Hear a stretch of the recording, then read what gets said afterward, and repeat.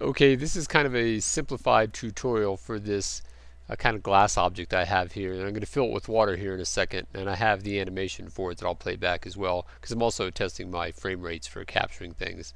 And here's the basic setup. There's a lot of ways to set things up to capture water, but in this is how I use it in this particular case. Let me go into uh, wireframe here and you can see it. So basically what I have are several objects in the scene. I have the glass itself like this and then this cube object here is really a cutout of the glass. Notice if I go up in here let me see. Well I don't want to move that yet. Let me, let me see I will go into material mode like this. And then you can see that it's this object like this right? So that's the cutout. So that's actually my object that's within my boundaries of my fluid.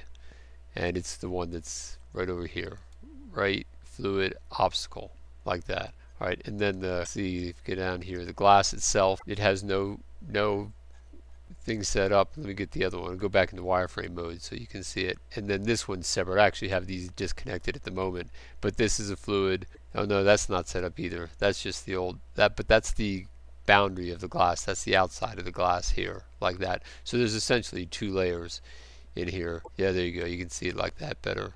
This is holding the fluid and that's just the glass around the fluid so you can see. But because I have both of these set to glass that's why I have this kind of reflective surface out here and you can't see through the glass. If I changed it to say transparent then you'd be able to see through and you'd be able to see the water on the inside. Alright and then there's a little inflow object in here as well right there. That's just dropping water in it. You can kind of see it right there. So let me see where's the animation for this? Somewhere over here. Let's see if it'll run. And uh, you can see where it, okay, there it is filling up like this. And you'll see the boundaries here in a second. I'll stop it.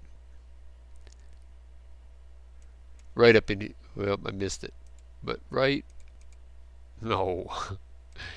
right, no, I missed it again. Too Alright, close. So right in here, you can it's running up against the boundary of the fluid, the domain that is. Alright, so I could have just moved it up, but I didn't. I wasn't intending to flow it over the top. So if I was going to run the animation, I'd just run it to about here and stop it like that. Alright, so that kind of gives you an idea. Yeah, I did a final rendering. No, that was the resolution was 100 on the simulation, and the rendering was set at 55 so that's just barely enough. As you can see it looks kind of grainy in here like that but even still with this it was it was several hours to do the whole thing. Maybe it was one two maybe about two and a half to three hours to do the simulation and the and the running. Well the nice thing about cycles is since it uses the GPU once you're done with the simulation I just run the rendering in the background and then I launch another version of Blender. And the performance is just fine because the GPU is taking care of the rendering and it multitasks just fine. So I would recommend using, you know, two, three copies of Blender at the same time if you have things running in the background. Okay, well, maybe they'll help you do your animations, and I'll see you in the next lesson.